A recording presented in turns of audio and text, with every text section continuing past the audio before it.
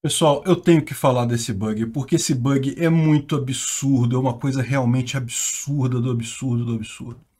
A gente falou alguns dias atrás do, do bug da Solana, né, que estavam começando a sumir recursos de algumas carteiras da Solana, e agora a gente sabe o que, que é, vamos entender o que, que é. Essa notícia foi sugerida por Gilona Manteiga e outras pessoas. Obrigado aí ao pessoal que sugeriu a notícia. Obrigado a você que está assistindo o nosso vídeo. Se você gosta do nosso conteúdo, por favor, deixe o seu like e se inscreva aqui no canal, né?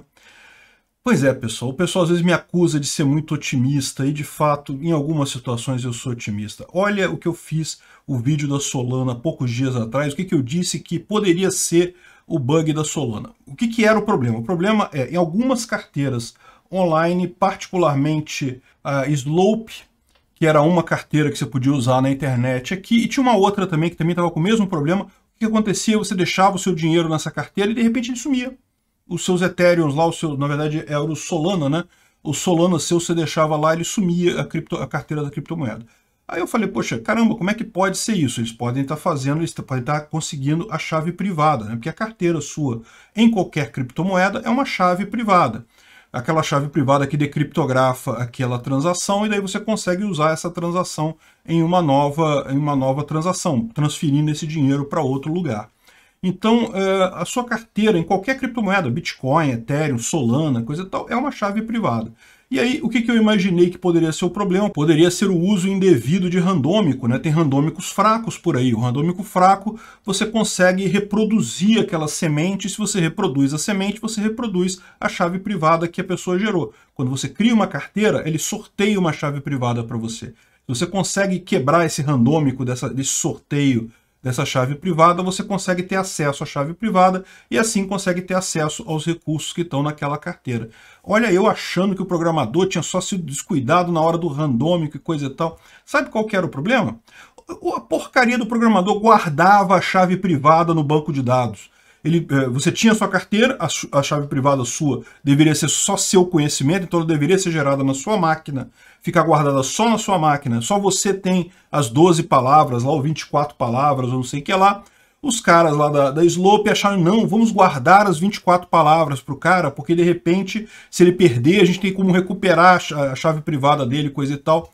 E aí ele guardava no banco de dados do sistema a chave privada. Isso é igual guardar senha em banco de dados. Não se faz isso nunca. Você não guarda esse tipo de informação em banco de dados. Chave privada, senha. Não se guarda isso em banco de dados em situação alguma. Ah, mas o banco de dados meu é todo protegido, eu vou configurar ele aqui com muita segurança e coisa e tal. Meu amigo, no mínimo, tem uma pessoa que vai ter acesso a esse banco de dados, que vai ser você mesmo que está cuidando do banco de dados. Então, ou seja, não tem segurança nesse caso. O que deve ter acontecido é algum programador lá da equipe que tinha acesso ao banco de dados, olhou aquela, aquele monte de, de, chave privada armazenada lá, aí jogou uma chave privada no sistema, viu que tinha um monte de Solana, uma grana boa ali, ele lembrou que não conseguiu pagar a prestação do carro naquele mês e coisa e tal, pô, vou dar um jeito de tirar dinheiro, e começou a roubar um monte de gente. É o que acontece, é a mesma coisa quando você deixa senha em claro no banco de dados. Isso é uma coisa que eu, eu falo, é, é, a gente o tanto que eu me bati na minha vida, que vocês sabem, né? A maior parte da minha vida profissional eu trabalhei fazendo inspeção de código em sistema. E esse tipo de coisa é tão comum, por mais que a gente fale, por mais que diga não se guarda senha no banco de dados, em claro, não se faz isso.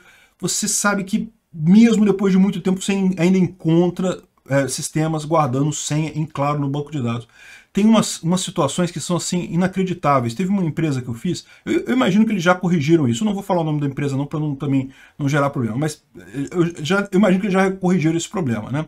Eu fui lá fazer, fazer a, a inspeção e eu sempre, antes de fazer a inspeção, eu faço uma entrevista com o pessoal de desenvolvimento para entender como é que é o código, né, o que, que, é, o que, que eles fazem, o que, que não fazem, o que, que o sistema faz, que tipo de informação que eles guardam, coisa e tal. E uma das perguntas eu perguntei, não, você guarda a senha dos usuários criptografada com hash, né?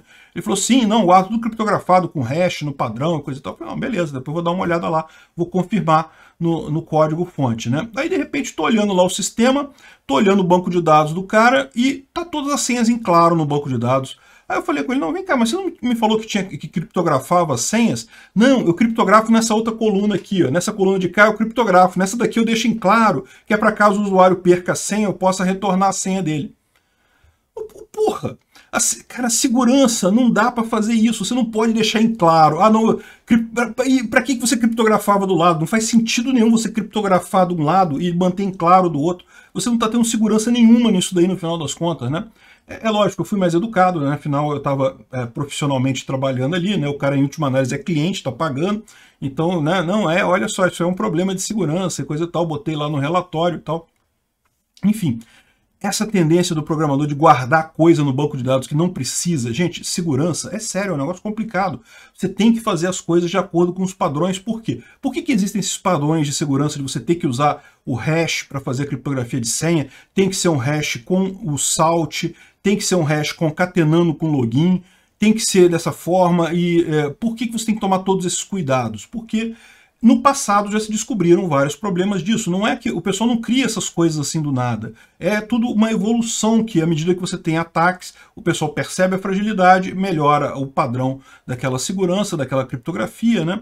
Um outro ponto que eu sempre encontro problema em sistema é quando o pessoal resolve criptografar as coisas e nunca leu nada sobre criptografia, mas aí chega lá na linguagem dele, tem aquele pacote de criptografia bonito, sei lá o que, ponto encrypt Aí ele vê lá que tem que passar a, a coisa a ser criptografada, até aí ok, tem que passar a chave de criptografia para ele ok, aí tem que passar um tal de IV. Aí o que o cara faz? Ele bota 0000 no IV e passa o IV, ou passa a chave igual ao IV, ou coisa assim. Sendo que o IV, que é o é, Vector, na verdade ele define toda a segurança da coisa. Você não pode usar a mesma chave, não pode usar zero no IV, você tem que sortear números naquele IV, é criar um, um array sortear os números todos, tem todo um processo, gente. Tem tudo, você pode procurar na documentação, tem todo um processo para se gerar isso daí. Tanto que agora a maior parte das linguagens tem esse tipo de coisa, né? Gerar chave, gerar IV, porque também não é qualquer coisa que você pode colocar como chave numa criptografia, você tem que ter um padrão para geração de chave.